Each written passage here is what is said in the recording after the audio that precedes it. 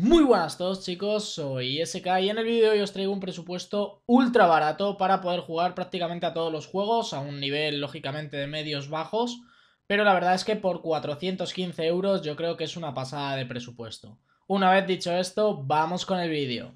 Muy bien, vamos a comenzar en primer lugar, como siempre, por el procesador. En este caso he escogido un Ryzen 3 1200 con una frecuencia base de 3,1 GHz y una frecuencia turbo de 3,4 GHz, son 4 núcleos y 4 hilos, que la verdad es que está bastante por encima tanto de los i3 de séptima, sexta generación para atrás, como del G4560, que también es un procesador bastante barato y que nos vale muy bien para jugar.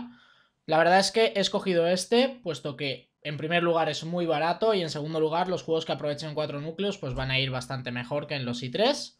Aparte de esto, nos trae también el cooler, así que una cosa menos de la que preocuparnos, puesto que con un TDP de 65 vatios, este cooler nos basta y nos sobra. Una vez vista la CPU, vamos a pasar con la placa base, vamos a montar una MSI A320M Grenade. La verdad es que es una placa base bastante económica, es de formato micro ATX, pero que sea de este formato tampoco nos va a hacer perder mucho, puesto que tenemos la conexión PCI para la gráfica, tenemos dos slots para poder poner RAM, tenemos cuatro puertos SATA y en la parte de atrás en cuanto a conexiones pues tiene las típicas conexiones que tienen todas las placas base, es decir, no vamos a echar nada en falta y la verdad es que está bastante bien por el precio que tiene. Una vez vista la placa vamos a ver qué RAM le vamos a poner a este presupuesto y en este caso vamos a utilizar un único módulo de 8 GB, es una RAM crucial DDR4 a 1233 MHz, son 8 GB de RAM Podríamos haber puesto 4, pero en muchísimos juegos nos quedaríamos muy cortos y lógicamente lo bueno de este ordenador es que pueda mover prácticamente todo. Así que de cara al futuro tendríamos opción de ampliación pues con otros 8 GB de RAM, por ejemplo, y podríamos aprovechar el Dual Channel.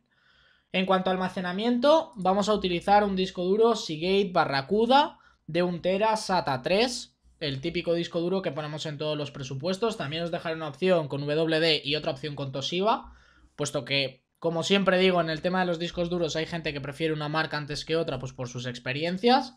Yo, de momento, conseguí todo perfecto, así que eh, es el que voy a utilizar yo. En cuanto a precio, tampoco habría mucha diferencia, a lo mejor 2 o 3 euros, dependiendo de la marca, pero más o menos se mueven por este rango de precios. Muy bien, ya tenemos almacenamiento, ya tenemos RAM, ya tenemos CPU. ¿Qué es lo que nos falta para poder mover todos los juegos? La gráfica. En este caso, que en calidad-precio me parece increíble, vamos a utilizar una MSI Radeon 550 Aero ITX de 2 GB GDR5. Esta gráfica está pensada para ser muy pequeña y por eso mismo pone lo de ITX, puesto que está pensado para ponerlo lógicamente en cajas muy compactas y demás y en un formato de placa base bastante más compacto. Nos va a valer igual, da lo mismo que ponga ITX, es una gráfica muy buena, por lo menos por 90 euros vamos a poder jugar a muchísimos juegos y no vamos a tener ningún problema. Y por último, todo esto lo vamos a montar y lo vamos a alimentar con la caja B-Move Kairos 500 vatios, que lo que nos trae es una fuente de alimentación ya puesta de 500 vatios.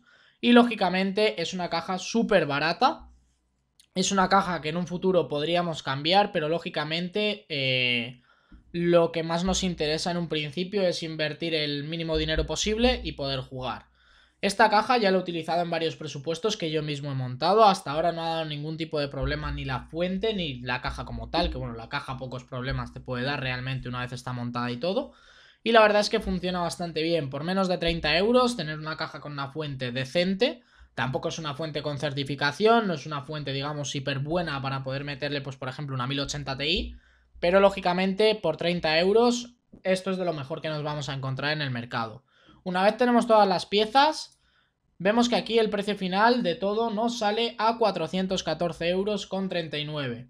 El tema del sistema operativo os voy a dejar aquí abajo un link de Amazon en el cual lo podréis comprar por entre 5 y 10 euros, suele rondar dependiendo del día para que no tengáis que piratearlo y demás y tengáis todas las actualizaciones y todo al día sin ningún tipo de problema. Y referente al montaje tenéis dos opciones. La primera es una tarjetita que voy a dejar por aquí sobre cómo montar un PC desde cero, ir viéndolo vosotros y seguir el tutorial y hacerlo igual. O si os da pues un poco de cosa y demás y no os atrevéis, pues también está la opción de llevarlo a una tienda y que os lo monten, de algún conocido que os lo pueda montar que entienda de esto, o si no, la propia opción de que os lo monten en PC Componentes. Os voy a dejar links tanto de Amazon como de PC Componentes. Si lo queréis ya montado, compradlo en PC Componentes y si no, pues comparad precios y si un componente os sale más barato en una web que en la otra, pues oye, compradlo así y ya está. Os vendrá en envíos diferentes, pero lo más importante es ahorrarnos dinero y que, lógicamente, pues el PC tire y podamos jugar. Por último, antes de terminar el vídeo, simplemente indicaros que si os ha gustado dejad un like, suscribiros si no estáis y os dejo con un par de gameplays de un PC muy muy parecido a este. Así que nada, nos vemos en futuros directos y vídeos. Adiós.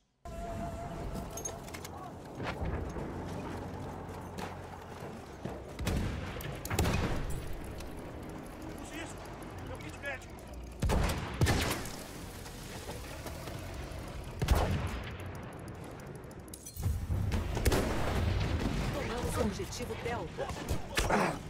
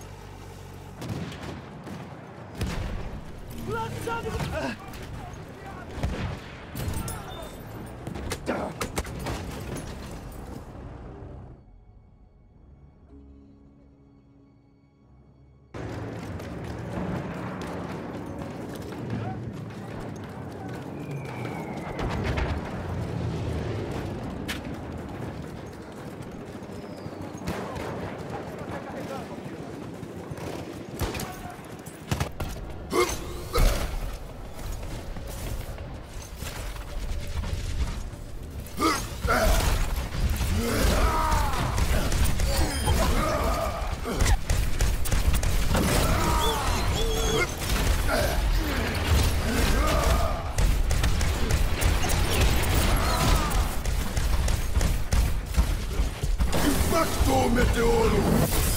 Hola, humano. Sei chance.